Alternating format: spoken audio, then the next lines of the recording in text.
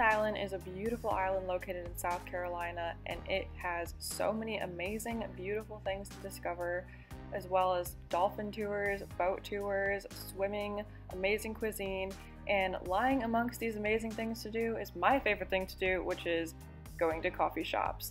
So I am filming this video for you guys so that you can see some of the top coffee shops, in my opinion, on Hilton Head Island. I'm just going to feature five coffee shops in this video, although there are a lot more coffee shops on the island. These have been my favorites to go to, and I think that you'll enjoy them as well. So without further ado, thank you so much for coming to my channel, and let's get right into them. These are in no order specifically, but the first place is going to be Java Burrito. It's on William Parkway. This place is really trendy. It's really cool. They've got a ton of selection. They've got, it's kind of like a Chipotle almost with burritos and bowls and then coffee. We got a honey lavender latte. The honey was local, creme brulee. These were so good. We really enjoyed them. We had outdoor seating, lots of seating.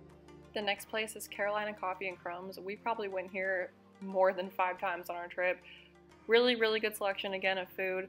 Beautiful atmosphere. It's in Coligny Plaza, so it's easy to get to. And again, they've got food, they've got pastries, lots of coffee items. Coffee was a good price. The atmosphere was amazing. And their decor was so cute, so beachy. And there's always a line here, so if you're gonna come here, you might wanna get here with some time to spare. They also have a lot of retail stuff, but nothing but good things to say about this place right here.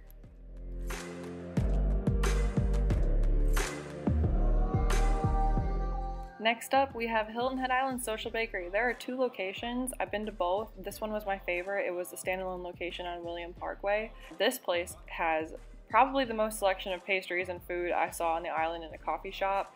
Tons of like gourmet pastries. Their menu is pretty extensive. Everything we tried was really good. Again, I just stick with my usual, which was a vanilla honey latte. These pastries right here were so good, and our coffee was amazing. So I highly recommend this place right here.